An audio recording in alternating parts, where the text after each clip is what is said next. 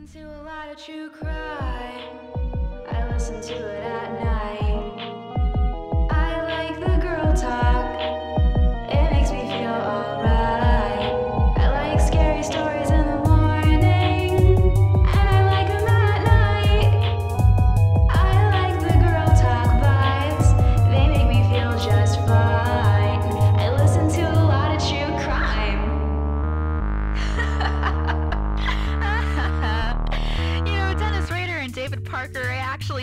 Sit in hell, shaking, quaking, terrified that one day, somehow, some way, they might meet me.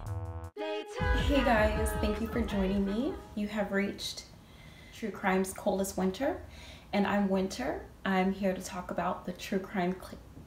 I'm here to talk about the true crime cases that simply plagues me. We're on part two of part one of the baffling case of Beth Doe. We talked about a girl named Evelyn Colon. She was last heard from in mid-December in 1976.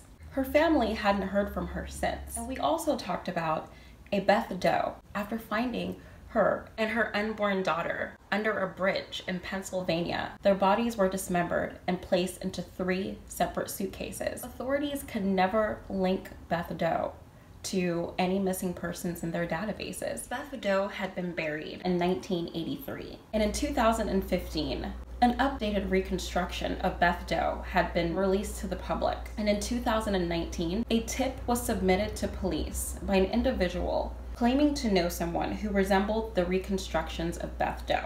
The individual's name is Madeline Cruz. Madeline spent time in the Massachusetts cities of Lenox and Framingham.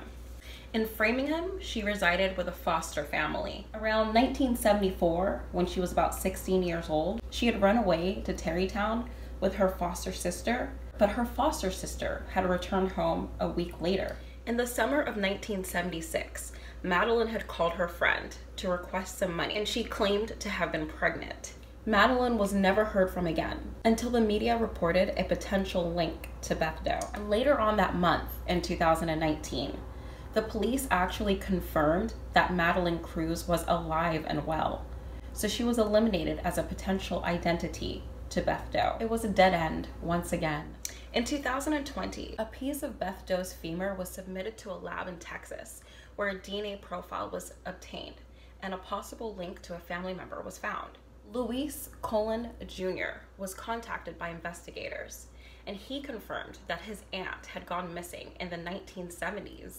And his father, Louis Colon, positively confirmed through description that it was his sister, Evelyn Colon, whose body that was found back in December of 1976 nearly 45 years later. He then recalled to investigators that the father of the unborn child found with Evelyn, formerly known as Beth Doe, was Luis Sierra, Evelyn's then boyfriend. Evelyn's sister, Migdalia Colon, was also interviewed by investigators. She recalled that in mid December of 1976, Evelyn told her mother that she had not been feeling well, and she also asked her to bring her some soup. But when they arrived at the Jersey City apartment that was shared by Evelyn and Louise, they found that it had been cleared out. Migdalia also told police that Louise had been abusive and he had also been jealous of Evelyn, going as far as locking her in their apartment. It was also said that Evelyn had told her mother that she was afraid of Louise, and if anything ever happened to her, that it was most likely Louise that was the culprit. And Luis, Evelyn's child's father, um, his name is Louise, but her nephew is also named Luis. It's spelled L U I S, and I don't know how to say. It. Is it Louise? Louis? I don't know. It's Louis. And of course, the infamous letter that Evelyn's family had received in January of 1977 that we talked about in part one. Well, they did receive the letter, and it didn't have a legible return address, as I had mentioned. And the letter was also in Spanish and it stated that Evelyn and the baby were doing well, and if she needed anything, she would be in touch. However, Evelyn lacked the ability to write, so they didn't believe that Evelyn was the author of the letter this whole time. Her family, however, never reported her missing because they thought she was safe with Lewis. and that she had deliberately cut off contact with them. So police decided that it was time to turn their investigation towards Evelyn's child's father and live-in boyfriend at the time, Luis Sierra. He was found to be living in Ozone Park, New York. He initially denied even knowing Evelyn, but then he later admitted that not only did he know her, but that he dated her and that she was to have his child. The plot thickens. However, he couldn't explain the letter, which would have been written after Evelyn's death. On March 31st of 2021, Luis Sierra was arrested and charged with one count of criminal homicide in Ozone Park, New York. He is now 63 years old. As of today, Luis Sierra is awaiting extradition, and no other further details have been released to the press. The family never believed that anything nefarious had happened to Evelyn, but they still wanted to know what happened to her. They believed that she had a family of her own and was taking care of them over the years. If it wasn't for Evelyn's nephew submitting his DNA four years ago, Beth Doe's identity would have most likely never been revealed, and no one would have ever known what even happened to Evelyn. The more genealogy sites that he went on and the more DNA that he submitted, he felt like his chances were a little bit higher. He even found some distant relatives who showed up, but it was never Evelyn, of course. The family had never heard of Beth Doe, and as soon as they saw her reconstruction photo, they knew it was her. She was finally identified after nearly 45 years. Evelyn is currently buried in Whitehaven, Pennsylvania, she would have turned 60 years old on April 17th. The family named her unborn daughter Emily Grace, representing the grace of God. And boy, is it a grace of God that this case was finally solved. One thing I should tell you don't ever sleep on God. He will make sure there is justice one way or another. Whether it's today or 30 years from now, someone is going to pay. That's all I gotta say. And as far as my life lesson, this is why family is so important. If Evelyn would have had a closer relationship with her family, they may have been fully aware that A, she didn't write the letter, and B, there's no way that she could go decades without contacting her family members.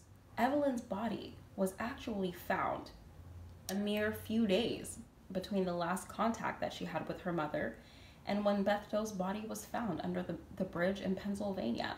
This case is just, it gives me the chills. It gives me the heebie jeebies. It gives me, it makes the hairs on the back of my neck stand up.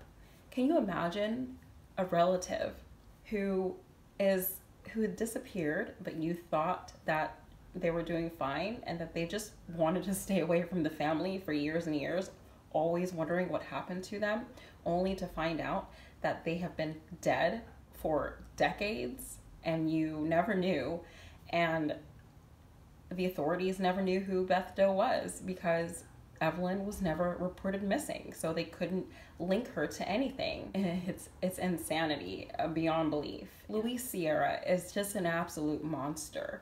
I mean, he he beats Evelyn to a pulp, sexually assaults her, strangles her, takes her baby out of the womb, dismembers her body, and then shoots her after she's dead and puts her in suitcases and proceeds to live his life as if nothing had happened. What a creep. I know that only God can judge, but I'm telling you, this is just an abomination. So, my lesson today again is just take care of your family. That's what family is for make sure that they're okay. And if you don't have any blood relative family, friends, they're also family. Check on them and just let's all take care of each other. You know? Forget this on the back burner attitude. Let's take action now. Time waits for no one. So, this is why I, and this is also why I'm bringing up this case because I want everyone to know the realities of the world that not many people talk about. This is real. This is what's happening in the world. Luis Sierra, he is tucked away. He is in custody waiting extradition since March 31st, and this is April 2021. So this was only a few weeks ago. Can you imagine your next door neighbor being an absolute murderer in the highest degree living right next to you, never knowing that. Can you imagine a SWAT team going next door and taking your neighbor away in handcuffs because of a crime that they committed 40 years ago? I mean, it is madness. Anyway, guys, thank you for watching me again. And if you have any ideas on any cases that I that are interesting or that you think that would be a good story to tell, please let me know. Message me, comment, any if you have any other requests, then you feel free to DM me and I will respond. I'm always looking for cases. I listen to a lot of true crime. so, you guys, thank you so much and I hope you enjoy the rest of your evening and you will see me very soon. Thank you again. She wins every fight. She's gonna rock your shit by the end of the night. And the only advantage that a killer has is they think they have the right. I listen to a lot of true crime.